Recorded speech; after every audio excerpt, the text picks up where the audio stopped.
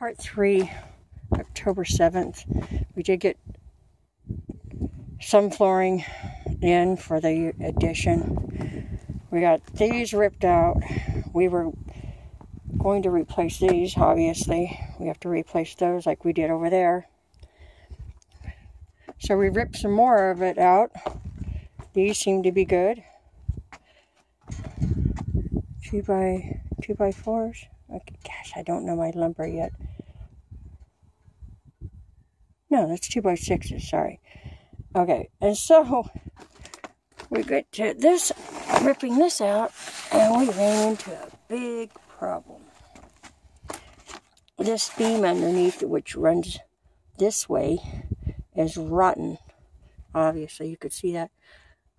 But what's good is on this side of the beam, the two by sixes run this way. So we just have to get our 20 footer and go all the way down to there and all the way over to there. Oh, I think it's, yeah, it's going to go to there, but sure stopped us in our tracks.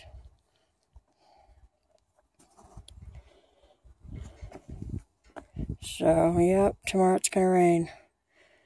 So, it's okay. Just back us up a couple days.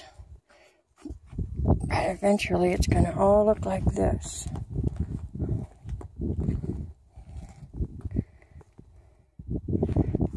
And then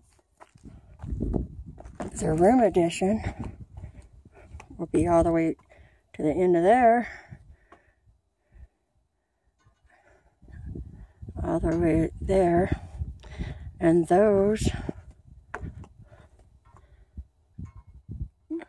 pieces of glass and these pieces of glass will be in the room addition.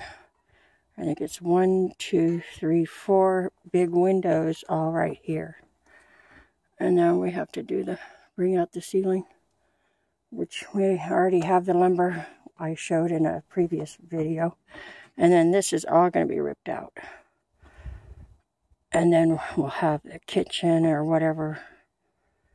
Plus we'll have a dual fireplace.